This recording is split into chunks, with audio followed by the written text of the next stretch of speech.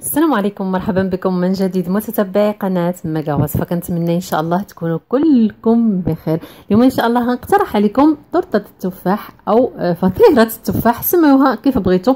المهم بالطريقة كيف وعدتكم دائما سهلة سريعة والاقتصادية. إن شاء الله غادي تحضروا أحلى تورته لوليداتكم أو الضيوف ديالكم. فكنتمنى إن شاء الله تجربوا طريقتي وتنال الإعجاب ديالكم. إذا عجبتكم الوصفة ما تنساوش جام الفيديو مشاركته في مواقع التواصل الاجتماعي أيضا الاشتراك في القناة. إذا كنتوا كتزوروني لأول مرة باش توصلوا معنا دائما بالجديد.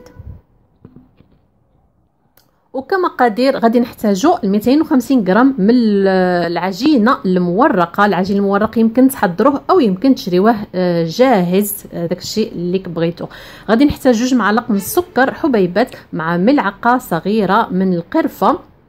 غنحتاج أيضا أصفر بيضة جوج معالق حتى ثلاثة كبار مربى المشمش أو أو عفوا أو أو الخوخ حسب الرغبة. غنحتاج جوج تفاحات كيف شفتوا معايا. وعصير نصف ليمونه حامضه بالنسبة للتفاح فغادي نغسلتو آه غسلتو مزيان. كيف كتشوفوا قشرتو قطعتو بهذا الشكل هذا آه اللي هو رقيق. ضفت عليه عصير نصف ليمونه حامضه باش ما يكحلش ويتأكسد ونخليوه على جنب. بالنسبة للعجين المورق فكنطلقوه آه بهذا الشكل هذا رقيق شوية. ما نرقوهش بزاف تقريبا نصف سنتيم هكذا باش يجينا شوية من فوق. ما تجيناش العجينة رقيقة بزاف وغنلويها على الدلاك هكذا نحيدها على جنب وغادي نوضعها في الصينية. غادي نوضعها دابا في الصينية باش ن... باش يسهل عليا التشكيل ديالها. يمكن تخدموها هنا في في سطح العمل ولكن أنا كنفضل نوضعها في الصينيه حيت كيسهل عليا آه، كتسهل عليا الخدمة ديالها. كندورها كيفاش بغيت. فهكذا كيف كتشوفوا وضعت العجين وغادي نحيد له هاد الجوانب هادوك اللي كتشوفوا هكذا اللي من عرجين باش نحصل على واحد الشكل اللي هو مربع أو ممكن تعملوها على شكل مستطيل حسب الرغبة ديالكم. فغادي نزول هاد الزوائد عفوا هادو اللي كتشوفوا. باش يجيني شكل مربع. كيف كتشوفوا بلي كتكون العجينة في الصينية؟ فهي كتسهل علينا كندورها كيفاش بغيت يعني وكان كيكون العمل شوية سريع على عكس ملي كتكون منزلة فوق سطح العمل كيصعب عليا شوية الحل. وعاد كنبقى نحني عليها فهكذا كنلقى راسي مصورة كاملة أو كنبان كلي في, في الكاميرا. فكيف كتشوفوا قطعت على شكل مربع وكنقددها هكذا بهذا الشكل هكذا حتى الا بقاو شي شوية فماشي مشكل كنقدهم غير بهذا الشكل هذا. غادي نجي للحاشيه غادي نحسب غادي نخلي واحد السنتيم بالضبط هكذا وغنقطع العجينة. كيف كتشوفوا معايا في الفيديو. غادي نعمل هاد التقطيعه هادي أو هاد السنتيم هذا هاد الشريط اللي غادي نقطعوه غنقطعوه في الجوانب الأربعة.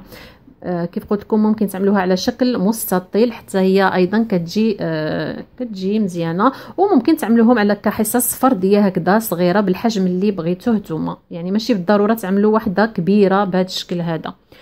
فهكذا كيف كتشوفوا هاد السنتيم هذا اللي قطعناه في الجوانب على الجهات الأربعة؟ غادي ناخذ أصفر بيضة. كيف كتشوفوا؟ طربته ممكن تطربوه مع شوية د الخل أو شوية الحليب. وغادي ندهن ما غندهنش الشريط وإنما غندهن جانب الشريط من الجهة الدخلانية. فكنتمنى يكون آه، الفيديو كيشرح نفسه يعني. فكندهن أيضا الجوانب الأربعة قدام الشريط قدام التقطيعه قدام الخط اللي عملنا اللي قطعنا. كندهن هكذا. باش هاد الشر... هاد الشرائط هادو كنجيبهم كنوضعهم على هاد البيض باش تلصق العجينة وهذه غادي تجيني كحافة ديال التورتة أو حافة الفطيرة. هاد الجهة هادي باش كتجي شوية منفوخه كتجي من داخل حانية ومن الحاشية أو هكذا كتجي شوية عالية. فغنقطع هاد الحاشيات أو غادي نفصلهم على بعضيتهم هكذا كيف شفتوا وغادي نهز الشريط نوضعو فوق البيض باش يلصق. بهذا الشكل هذا كيف كتشوفوا وغنهز الجهة الأخرى أيضا بنفس الطريقة. فأنا اضطريت هنا ما نسرعش الفيديو يعني واخا يجي طويل شوية اضطريت أنني ما نسرعوش باش تكون الطريقة واضحة شوية وإنما هي كيف كتشوفوا طريقه سهلة سهلة وبسيطة جدا. صافي كنعمل هاد هاد المسألة هادي على الجهات الأربعة وكنحيد هاد الجوانب أو هاد الزوائد هادو. باش كنحصل على واحد المربع كيف كتشوفوا بهذا الشكل هذا مقاد ام متساوي. آه باش نحضروا التورتة ديالنا بدون أي قالب يعني واخا ما يكونش عندنا حتى شي قالب ممكن نحضروها. غادي ناخذ أصفر البيض وغادي ندهنو فوق الوجه يعني فوق الحاشيات هادو هاد الشرائط هادو الأربعة. غادي ندهن فوق منهم. ما غندهنش الوسط غندهن غير الشرائط.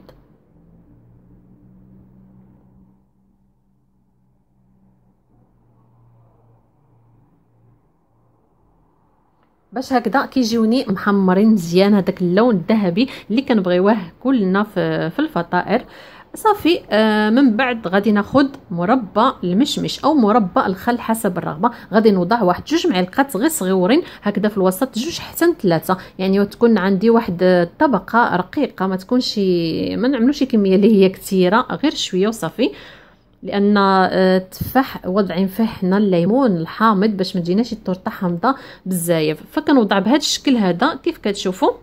غير القليل فقط جوج حتى ثلاثة د معالق وغنبقى ناخذ التفاح أو شرائح التفاح اللي قطعنا ونوضعهم على هذا الشكل هذا فوق بعضيتهم وحدة فوق أخرى وحدة فوق أخرى حتى كنعمل واحد الصف ديالهم. ونحاول التفاح ما يجينيش على الحاشية أو على الشريط هذا اللي اللي كيجي في الحاشية اللي دهناه بالبيض يكون التفاح داخل باش ما يحبسش الانتفاخ ديالو. فكنعمل هكذا واحد الصف الأولي ومن بعد الصف الثاني وكنستمر بهذا الشكل هذا كنستف التفاح ديالي حتى كنسالي الكمية اللي عندي كاملة وكنعمر هذه الطورطه هذه من الوسط كلها. بهذا الشكل هذا كيف كتشوفوا؟ ومن بعد غادي نخلط السكر فهنا للتذكير فقط جوج معالق كبارين السكر حبيبات مع ملعقة صغيرة د القرفة غنخلطهم مزيان وغنرش بهم هذا التفاح. ما غنرشوش الحاشية غادي نرش فقط الوسط يعني غير التفاح فقط. فغنرش هكذا بيدي أحسن باش كان باش كيجي السكر هكذا متساوي. حتى غنسالي الكميات السكر اللي عندي هذيك كاملة غادي نوضعوها مع هاد جوج الحبات التفاح عفوا. فهاد المقادير اللي عطيتكم كاملة مضبوطة 250 غرام الورق عفوا العجين المورق مع جوج تفاحات مع جوج معالق السكر. كافيين. هاد الاثناء هادي ضروري يكون الفرن كيسخن على درجة حرارة 180 أو 170 مشعول من الفوق ومن التحت ندخلوا الفطيرة قريبة شوية للتحت ونخليوها حتى تطيب مزيان وتحمر كيف كتشوفوا دابا باقة في الفرن كانت. صافي تاخذ هذا اللون الذهبي اللي كنبغيوه.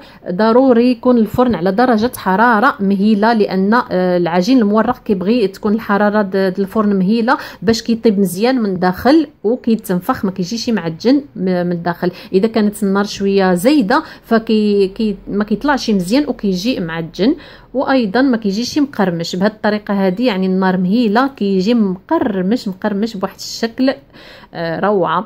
صافي وكنزينوها كيفاش ما بغينا. بالنسبة لي أنا فغادي نزوق واحد النصف غادي نرش عليه السكر الثقيل والنصف الآخر غادي نزوقو أو غادي ندهنو بمربى المشمش. يمكن دهنوا الناباج إذا كان عندكم أو أو العسل.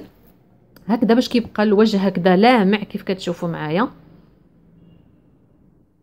وكندهنو حتى هاد الحويشيات هادو فكنفض عليهم شوية د السكر وكندهنهم باش كيجي الشكل ديالها آه، جميل شوية.